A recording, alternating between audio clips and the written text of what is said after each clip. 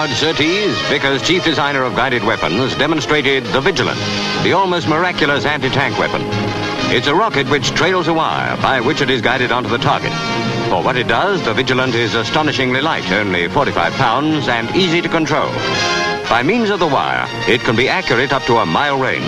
And the beauty of the thing is that it can be operated by a soldier after one day's instruction. The conception and effectiveness of the new weapon are a great tribute to the designers. As the complete equipment can be carried by one man, every soldier so armed is potentially a tank destroyer.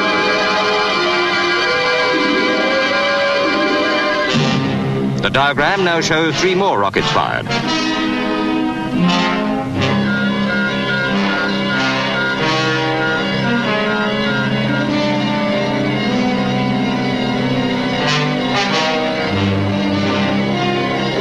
The Vigilant can be fired from a helicopter when the target can't be seen from the ground. Now, a live demonstration.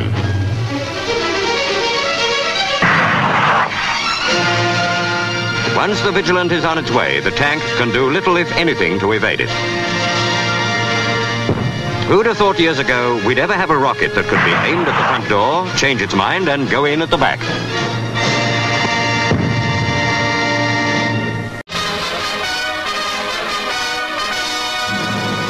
It looks like good news for infantrymen, not so good for tanks. The Vickers Vigilant anti-tank guided missile can hit the target with near certainty at all ranges from 200 yards to a mile. If it's everything it appears to be, tank supremacy in conventional warfare may be over.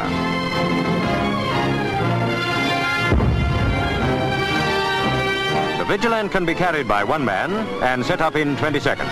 Under good cover, it can be concealed from its intended victim.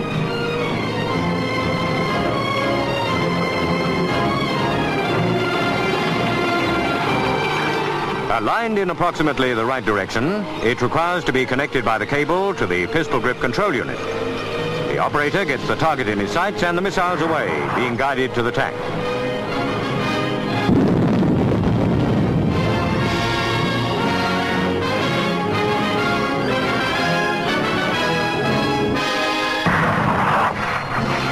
It's come to the point where tank crews will be asking for danger money.